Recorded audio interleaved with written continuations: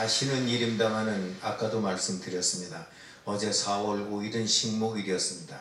그런데 내일 4월 7일은 여러분 아시는지요? 복원의 날입니다. 제가 그 금년 초에 가요 무대를 시작하면서 여러분과 금년에 실천하고 싶은 두 가지를 말씀드렸습니다. 그것은 무엇인가 하니 건강과 효도입니다.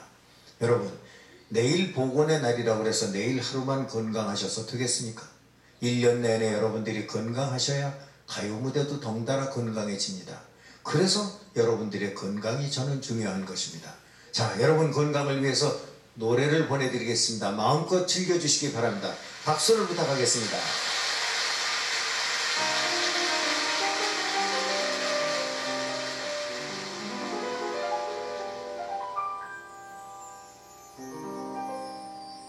당신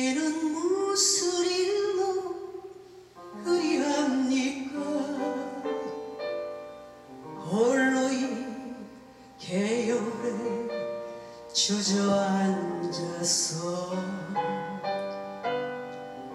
파릇한 불포기가 돋아나오고 찬물이 봄바람에 해적일 때에